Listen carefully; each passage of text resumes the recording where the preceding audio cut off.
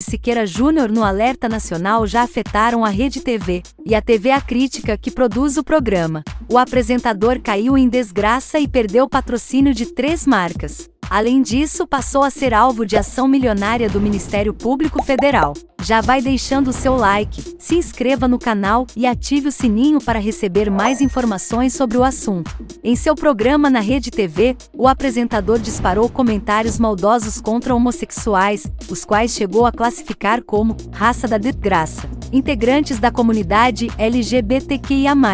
Então, fizeram uma campanha para ele perder anunciantes e as consequências das declarações de Siqueira Júnior já começaram a impactar no caixa na Rede TV e no bolso do jornalista, que recebe uma fatia das ações de merchandising. Pelo menos três marcas deixaram de anunciar no Alerta Nacional: MRV, Apvida e TIM. A MRV acredita na diversidade e não compactua com qualquer forma de preconceito. O programa Alerta Amazonas já não faz mais parte dos nossos planos de mídia, disse a empresa de Rubens Manning, que também é dono da CNN Brasil. Não apoiamos forma alguma de preconceito, seja social, de credo, raça, gênero ou orientação sexual. No momento, suspendemos o patrocínio do Alerta Amazonas. Estamos sempre trabalhando por uma sociedade mais saudável, declarou a empresa de plano de saúde Apvida. Mas não parou por aí. Siqueira e a Rede TV passaram a ser alvos de uma ação civil pública ajuizada pelo Ministério Público Federal do Rio Grande do Sul, em conjunto com a Nuances, associação que atua na defesa dos direitos humanos da população LGBTQIA.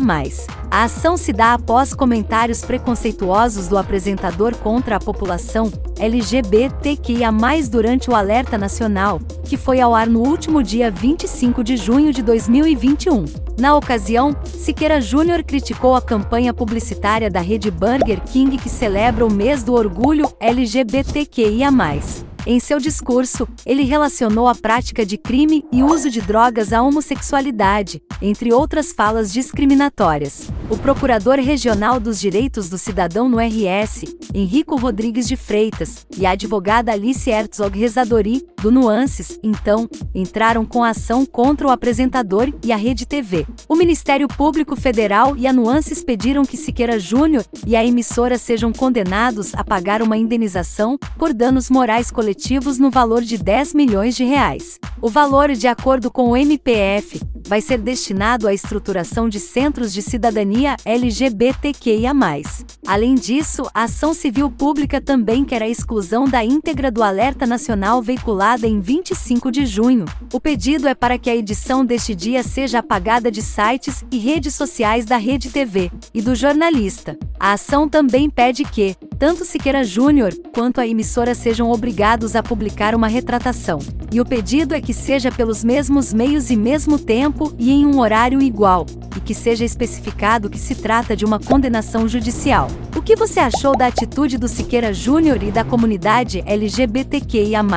Deixe sua opinião nos comentários, se inscreva no canal, ative o sininho para receber mais informações e assista ao nosso próximo vídeo. Até mais!